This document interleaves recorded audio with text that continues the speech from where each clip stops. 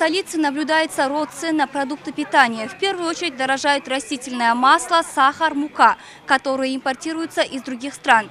По словам продавцов, цены поднимаются из-за роста доллара, так как поставщики поставляют товар дороже обычного.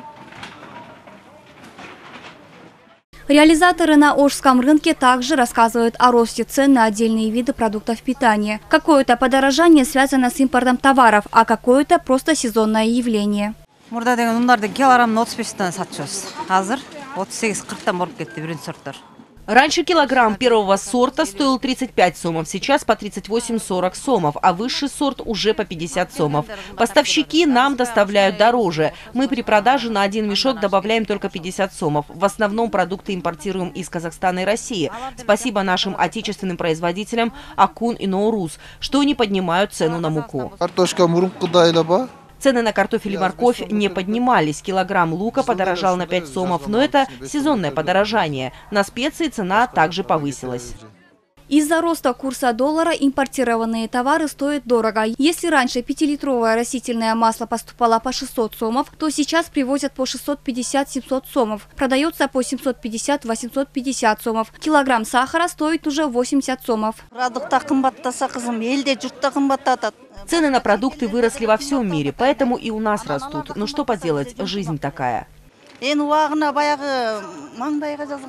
Дегендей пешенеге атпайбыз Такая же ситуация наблюдается практически во всех странах. По словам экономистов, главной причиной является рост курса доллара и продовольственная инфляция. А Для Кыргызской республики необходимо экстренно принять стороноправительственные меры для того, чтобы переходить на импортозамещение, то есть те продукции, особенно продовольственной безопасности, те продукции, которые мы импортировали, необходимо э, поддержать наших производителей сельско- сельскохозяйства. Если у нас будет производиться, то ценообразование будет другая. А Если импорт, то обязательно в порядке добавляется импортная пошлина, перевозка. Это прямиком сказывается на се- себестоимости этой продукции, завозимой продукции. Сейчас наша страна может полностью обеспечить себя бахчевыми культурами, картофелем и молочными продуктами.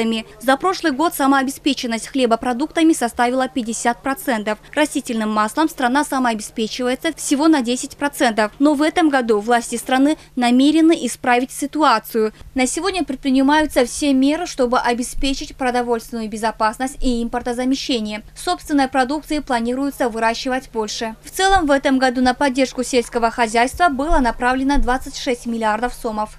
кудайга шүгүр мээнеткеч иштегенден талбаган дыйкан элибиз бар. Алар болгону сугат суу таза үрөн жер семирткич жана арзан насыя гана талап кылып келе жатышат У нас есть трудолюбивые фермеры. Им нужна только поливная вода, качественные семена, удобрения и льготные кредиты. Мы выделили все средства, которые у нас были, 26 миллиардов. Конечно, этой суммы недостаточно, чтобы обеспечить всех фермеров сразу. Поэтому мы начали уже рассматривать выделение средств на следующий год. На наш взгляд, мы обеспечим всех фермеров через 3-4 года. Конечно, если наша казна была бы полной, то лучше бы было в этом году обеспечить всех фермеров полностью.